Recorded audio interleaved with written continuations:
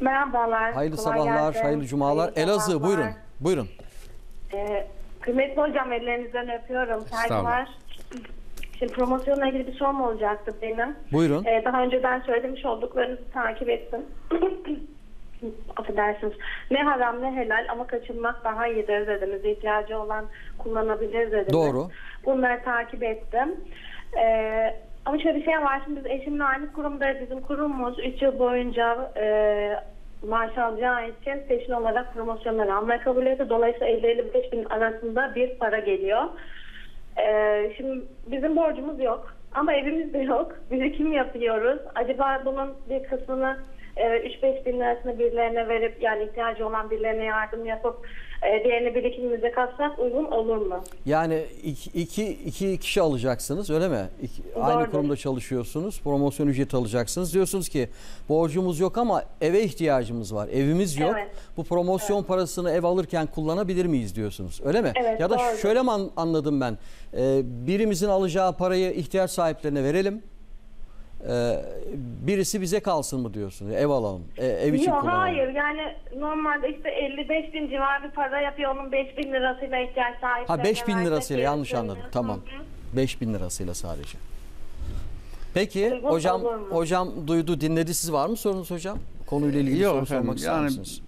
Efendim promosyon Teşekkür ediyoruz. Televizyondan takip edin lütfen. yani promosyon yüzde yüz helal mı? Evet demek mümkün değil. Haram mı? Evet demek mümkün değil. E peki ne ya? Yani pey, sevgili peygamberimiz buyuruyor ki innel halale beyyinun vel harame beyyinun. Helallar belli, haramlar belli. Müttaki kişi o kişidir ki helalla haram arasında şüpheli olan var.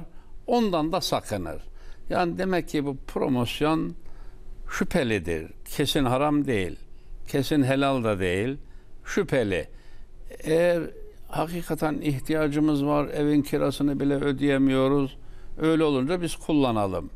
Öyle de ihtiyacımız yok. Biz geçimimiz yerinde. Onu söyledi. İhtiyacımız yok, borçlarımız da yok dedi ama evimiz yok, ev almak istiyoruz dedi. Evet. Ev için kullanabilir miyiz? Ee, yani ben ben ben kuralı söylüyorum. Artık kendi hükmü kendi versin. Demek ki e, ihtiyacı varsa e, bir zaruret halinde ihtiyacı varsa kullanabilir. Zaruret halinde ihtiyacı yoksa kullanmayıp başkasına vermeli. Helal yolu geniştir. Rabbim helalından lütfeder. E, duamız Kabe'nin gölgesindeki dualarımızdan biri bu. Allahümme agnini bi halalike an haramik ve bi taatike an masiyetik ve bi fadlike an men sivak. Ya Rab helalınla doyur, harama düşürme. İtaatla tatmin eyle, isyana hacet kalmasın. Ve bi taatike an masiyetik ve bi fadlike an men sivak. Lütfunla senden başkasına bizi muhtaç etme ya Evet. Rab. Songül Hanım yazmış. Bankaların verdiği promosyon parası ile Umre'ye gidilir mi? Gidilmezse biz ne yapalım bu parayı? O parayı ihtiyacı olan birine vermeli veya bir hayra vermeli. Ee, biz helal, ak, pak paramızla kutsal yolculuğa gitmeliyiz. Ya Umre'ye promosyon parasıyla Promo- gitmeyin şüpheli diyorsunuz. parayla Şüpheli gitmeyin. parayla gitmeyin. Gitmeyeyim, evet. Evet hocamızın tavsiyesi bu yönde.